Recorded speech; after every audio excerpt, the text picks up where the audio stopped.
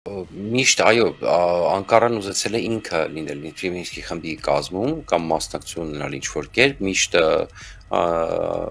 ԵԱԿ Մինսկի խմբի երևի բոլոր տերությունները խոչընդոտել են, բայց 44 օրյա պատերազմից հետո կարծում եմ այսպես Ռուսաստանը վերցրեց իր ձեռք ամբողջությամբ կարգավորման գործընթացը, ընդ որում սա տեղի ունեցավ նաև նաև Ադրբեջանի ամբողջությամբ համաձայնությամբ, պարզապես Անկարան ստվերային, այսպես ասած, մասնակցություն ունի, եւ ես վստահ եմ, որ բոլոր հարցերը բոլոր հարցերը երրակոմ ձևաչափով որ քննարկվում են, քննարկվում են նաև Անկարայի հետ եւ ստանում են Անկարայի համաձայնությունը։ Պարզապես որպեսի այսպես դեմոնստրատիվ ԱՄՆ եւ Ֆրանսիայի այսպես դեմոնստրատիվ դիրք է, այսպես չվերացնեն Մինսկի խումբը կամ այսպես քանի որ Մինսկի խումբը մանդատ ունի, չէ, ՕՕՆ-ից, ՄԱԿ-ից մանդատ ունի,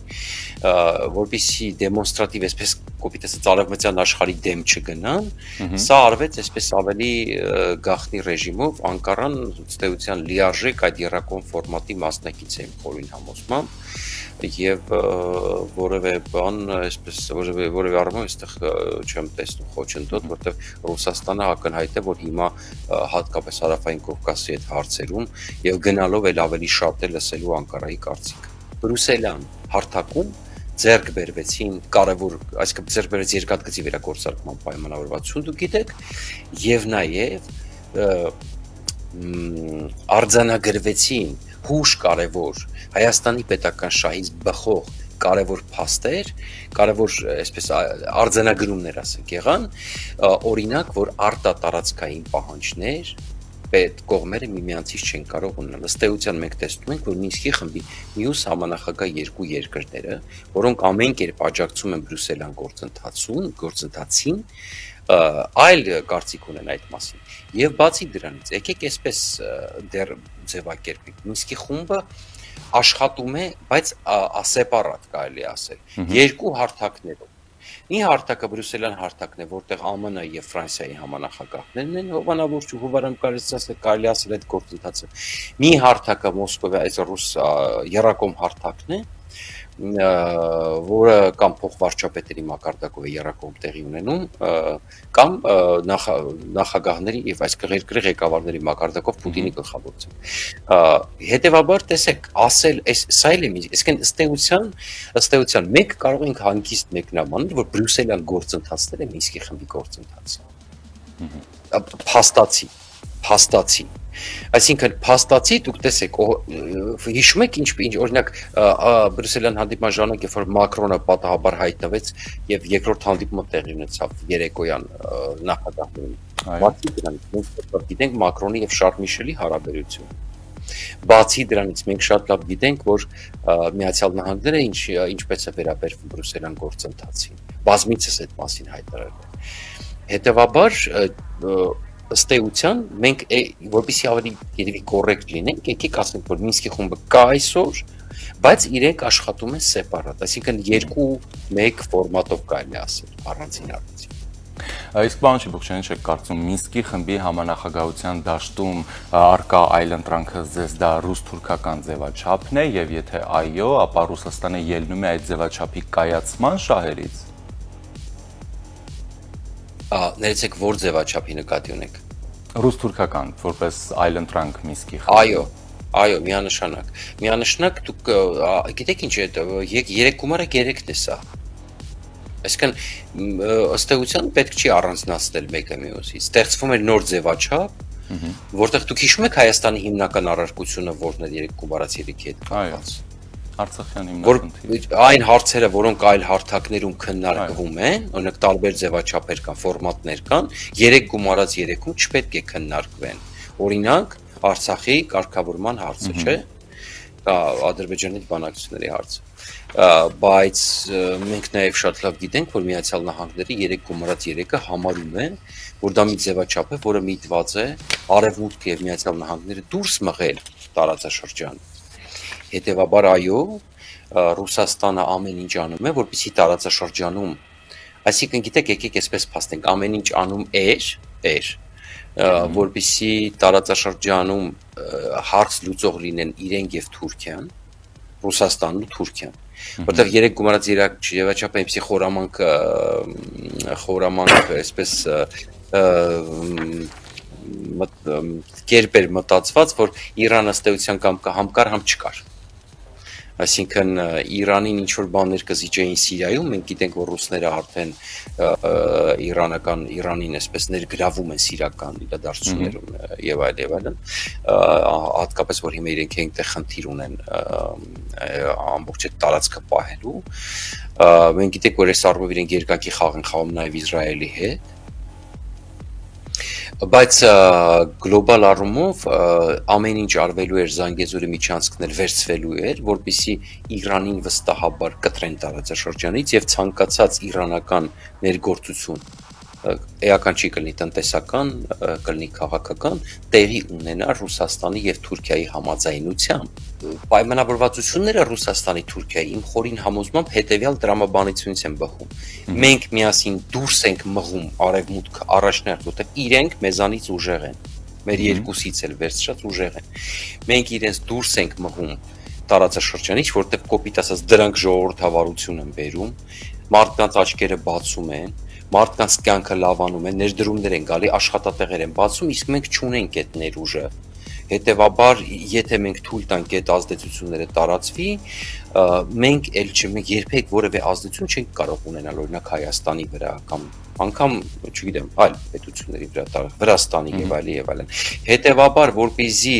այս հարցը փակենք եւ մենք էլ ներսում կարողանանք պայմանավորվենք կամ մրցակցենք, ուրեմն առաջին քայլով հետեւյալն ալնում։ Մեր համար հստակ է մի բան, նախ դուրս ենք մղում արևմուտքը տարածաշրջանի, հետո արդեն մենք իրար հետ լուծում ենք հարցերը։ Այդտեղ արդեն գնում է դիվանագիտությունը։ Մեկ այո, այդտեղ կա մրցակցություն, այդտեղ པարզ է որ լինելու է մրցակցություն, բայց իրենք մի բան են հասկանում։ Իրենք միմյանց հետ ինչ որտեղ կարող են պայմանավորվել զիջումներ ստանալ, մեկը մեկից մի բան փոկել, միտեղ զիջել մերձավոր արևելքում, միտեղ ստանալ հարավային Կովկասում, այսինքն հասկանալի է, չէ՞ ինչ եմ ասում։ Իսկ արևմուտքի հետ իրենց երկուսին էլ արևմուտքի կարողությունների բարագայում, բարձ է որ բարդ է լինելու մրցակցել։ Հետևաբար իրենք ունեցան միասին պայմանավորվածություն եւ մերձավոր արևելքի հետ կապված եւ Արցախի այսինքն 44-ը պատերազմներ դա ռուս-թուրք-ադրբեջանական եւ հիմնականում ռուս-թուրքական պայմանավորվածություն Ալիևին մեկ-մեկ թվում է թե ինքը այդպես լուրջ խոշոր խաղացող է բայց իրականում իրեն թույլ են տալիս եւ Թուրքիան եւ Ռուսաստանը որ այդպես մտածի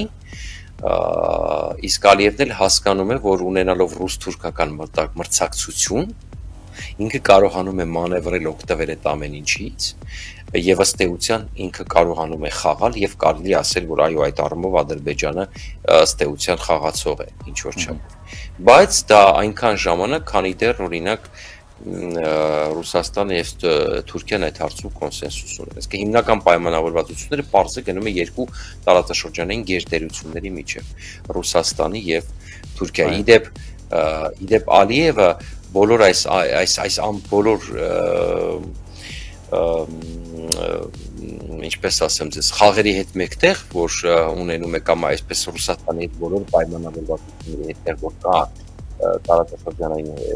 Զանգեզուրի միջազգ եւ այլ եւ այլն Ալիևը նաեւ շատ լավ հասկանում է այս ամեն ինչ որ ես նախ վերը նշեցի եւ դրա համար դուք նկատեցիք Ալիևը ամեն գնով փորձում է պահպանել նաեւ հարաբերությունները արևմուտքի հետ եւ պատահական չէր որ նա եթե չեմ սխալվում մի ամիս առաջ էր կամ ավելի քիչ կոչ արեց որպեսզի եթե չեմ սխալվում Բաքվի գլոբալ ֆորումի ժամանակ էր կոչ արեց որպեսզի արևմուտքը գա եւ ասաց որ ոչ միայն Շահդենիս համքավայրն է այսօր Ադրբեջանում կամ այլ հանքավայրեր որ տկալ է մեծ ներդրումներ անել եւ այս ժամանակակից էներգետիկ ճգնաժամի պայմաններում Ադրբեջանը մեծ պոտենցիալ ունի իդեպ այստեղ է շատ հետաքրքիր է տեսեք այ գիտեք շատ հարցերում այդ դիվանագիտական այս բաները մենք պետք է ուշադիր լինենք նայենք եւ ինչ որտեղ ամոթ չի նաեւ սովորենք որովհետև ակնհայտորեն բաներ կա, որ դու տեսնում ես եւ հասկանում ես, որ տեսեք մի կողմից Ադրբեջանը Ռուսաստանին օգնում է որպիսի շրջանցի պատժամիջոցները եւ նաեւ Զանգեզուրի միջանցքները այդ առումով դառնում է ավելի ակտուալ Ռուսաստանի եւ Ադրբեջանի համար մի կողմից այսպես դուք գիտեք որ մինչև պատերազմը Ուկրաինայի հետ մի օր առաջ պայմանագիր կնքեցին դաշնակցային Ադրբեջանը Ռուսաստանը եւ այնտեղ կար կետ որ որով Ռուսաստանը Ադրբեջանը կարող է եւ ռուսական էներգակիրները տեղափոխել իր տարածքով դեպի Եվրոպա, այսինքն տրանսպորտացիա անել եւ այս առումով տեսեք մի կողմից դա Ռուսաստանի հետ խաղում է այդ ուղությամբ Ռուսաստանին է օգնում, մյուս կողմից էլ նա աշխարհին ասում է տեսեք Ռուսաստանի հետ կապված խնդիրներ կան, ես կարող եմ այդ փոխարինողը դառնալ այս առումով, բայց կան հանքավայրեր եւ շահագործել Մենք դրան զուգահեռ կարող ենք հիշել նաև վերջին Ալիևի շնորհավորանքը Ջո Բայդենին, որտեղ Միացյալ Նահանգներին կոչ էր անում ներգրավել այս գործընթացների մեջ բանակցային եւ այլն Արցախյան հիմնախնդրի հետ կապված եւ այստեղ բնականաբար միամտություն կլինի կարծել, որ թե Մոսկվան, թե Վաշինգտոնը Հայաստանի մասին պատկերացումներ կամ մոտեցումներ են կազմում զուտ քարոշչական այն էլ Բաքվի քարոշչական թեզերի հիման վրա։ Այս դեպքում նկարագրելով Բաքվի նման մոտեցումները Հայաստանին ինչ ռեսուրս ռեսուրս է կասում, որ เป զի մենք էլ կարողանանք նման ճկունություն, այսպես ասած, flexibility ցուցաբերել։ Հա, այո։ Տեսեք, flexible լինելու համար պետք է ճիշտ դաշնակիցներ ունենալ։ հա, Հավաստիացնում եմ ձեզ։ Ուրեմն մենք հիմա ունենք իլյուզիա, որ մենք եթե սխալ քայլ անենք, մեզ ուտեն, մեր մեր հարցերը արդեն լուծված է Այ ինչ որ ես փորձում եմ բացատրել այս երկու տարվա ընթացքում եւ ավելի դեպ։ Մեր հարցերն արդեն մեր, մասին մտ այսպես մի քիչ ցինիկ է ստացվում ներողություն։ Ոնց մեր մասին արդեն մտածած է։ Մեր ճակատագիրը որոշված է։ Ընդ որում, եթե մինչև Ուկրաինան Ռուսաստանը ճուներ խնդիր, այսպես ասած, Արաք Հայաստանը կլանելու, մտածելով որ Ուկրաինայից հետո Հայաստանը ինքն իրան կլանվի, Հիմա արդեն տեսնում ենք, որ Ռուսաստանը ցայտնոտային իրավիճակում է եւ առաջին թույլ օղակը, որ նա պատկերացնում է Բելարուսից հետո Հայաստան, որը կլանելու է հարցը լուծված որոշված է։ Մեր իշխանություններն շատ լավ գիտեն այդ մասին։ Ես ես ասեմ, այնպես չի որ չգիտեն, փայլուն հասկանում են։ Հիմա Հայաստանին պետք է կողմնորոշվել, այսինքն գրագետ կողմնորոշվել գրագետ պետք է դիվերսիֆիկացնել արտաքին քաղաքականությունը եւ այլևս ոչինչից չվախենալ։ Օրինակ, գնալ Իրան եւ ասել, եթե Ռուսաստանը մեր գազը կտրի, մենք կարող ենք ավելացնել գազի ծավալները կամ ինչ լուծումներ կարող ենք գտնել, որովհետեւ մենք էներգայի էներգետիկ ճգնաժամի մեջ չմտնենք, որովհետեւ կա մի հարց, որտեղ Հայաստանն ու Իրանը իրար հետ համակարծիք են, կարմիր գիծ է, դա Սյունիքի միջանցքն է, ճիշտ է։ Այսինքն Հայաստանի իշխանությունները, որպեսզի այդ flexible լինեն, flexibility ունենան, պետք է այդ հարցը լուծեն որ որ որովհետև մենք գիտենք չէ Ռուսաստանի էությունը նացիստական, որ եթե հանկարծ Հայաստանը մենք տեսանք չէ Կանադայի դեսպանատան հետ կապված ինչ։ Ես դա եմ ասել, որ ուկրաինական իրավիճակով պայմանավորված, այսինքն Ռուսաստանի վարկը դառնում է ել ավելի ագրեսիվ եւ այստեղ բնականաբար աճում են նաեւ մեզ համար ռիսկերը եւ որպես օրինակ կարող ենք դիտարկել հենց Ռուսաստանի դեսպանատան արձագանքը Ուկրաինա կանադական արտգործնախարարության ցանկությանը Հայաստանում ունենալ դեսպանություն։ Իհարկե։ Իհարկե, տեսեք, դա սպառնալիք էր։ Պետք չի այս ասպասպա այս կողմեն կողմն կնել։ Դա սպառնալիք էր բարձ նշված է մտածում են հետևանքների մասին անվտանգային եւ բարեկեցության օրինակ, հա դա ակնհայտ սպառնալիք էր։ Տեսեք, մենք գործ ունենք 21-րդ դարի նացիզմի հետ, նեոնացիզմի հետ ես կասեի։ Կամ ախր այնքան էլ նեոնացիզմ չի, այնքան դասական կլասիկ նացիզմ է, դասական, որևէ բանով չտարբերվող, իրենք արտոնությունները, իրենք հավատում են իրենց ստեղծած միֆերին, ինչպես հավատում էին Հիտլերն ու Գեբելսը օրինակի համար, հա անգամ քարոշչությունը, քարոշչությունը, չնայած եթե Գեբելսի քարոշչությունը 40-60 էր աշխատում, եթե ես չեմ սխալվում, իսկ 40% ճշմարտություն, 60% սուտ կամ հակառակը, այսպես տարբեր, այսպես այս մակարդակի վրա, Ռուսաստան, ռուսական Ռուսաստանի քարոշչա մեքենան ել ավելի լկտի եւ կեղտոտ մեթոդներ է օգտագործում, բացարձակ ստի տեխնոլոգիան, այսինքն այն տեխնոլոգիան, երբ որ դու առավոտից երեկոն սուտը կրկնում ես, այնքան մինչև դա դառնում է ճշմարտություն։ Օգտագործում է կեղծ տրամաբանության տեխնոլոգիան։ Հասկանում սա բոլորը սև քարոշչության կեղտոտ միջոցներ են, որոնք առավոտից իրիկուն հերոստատեսության պատտվում են եւ որը ցուցադրվում է նաեւ Հայաստանում ծայրահեղ վտանգավոր բան է, որովհետեւ մենք հասկանանք ինչ է քարոշչությունը, մենք դուք պատկերացնում եք ինչպես ֆաշիստական Գերմանիան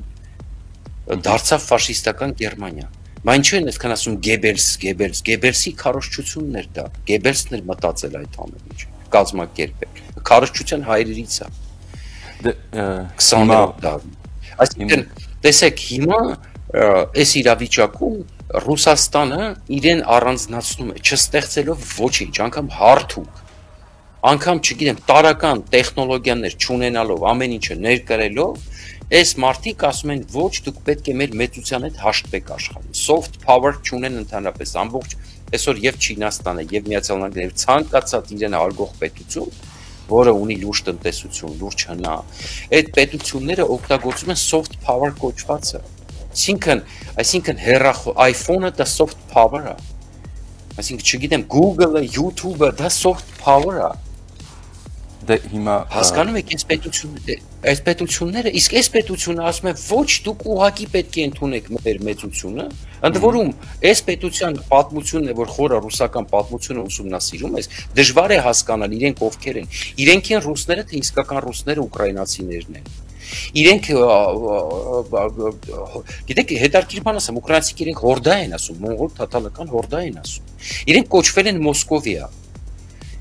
Իրենք չեն կոչվել Ռուսաստան։ Դա Պետրոսն է Ռուսաստան անունը։ Ռուսաստան անունն էլ Հունաստանից ռուս նշանակում է ռուս հունարենից։ Անկամ ռուսերեն բառ չի Ռոսիան։ Ռոսիան դա ռուսերեն բառ չի։ Այսինքն այս պետությունը կոչվել է Մոսկովիա, իսկ այ ուկրաինական հատվածը կոչվել է Կիևյան ռուս ժամանակի։ Դրա համար դեռ հարց է, հարց է, սա պատմական հարցեր են, իսկ Պուտինը, որ այդքան պատմությունից խոսում է, իրենք ինչպես իրենց քարոշչությունը, իրենք բնավորություն ունեն աղավաղելու ամեն ինչ ոտից ոտքից գնու։ Իդեպ մի հետարքիր բան ասեմ, քանի չեմ մոռացել։ Դուք օրինակ ասացիք Ալիևը Բայդենին է, չէ՞ արդեն։ Ուղերձը ասեցիք։ Իհարկե, որտեվ Ալիևը արդեն հասկանում է, բայց ինչ կլինի, եթե հանկարծ Ռուսաստանը պարտվի Ուկրաինայում բա ինչպես պետք է ինքը տեսնի դուրս գալու տարբերակները, որպեսզի ԱՄՆ-ի հետ էլ չփչացնի հարաբերությունները։ Սա դիվանագիտություն է կոչվում, գիտե։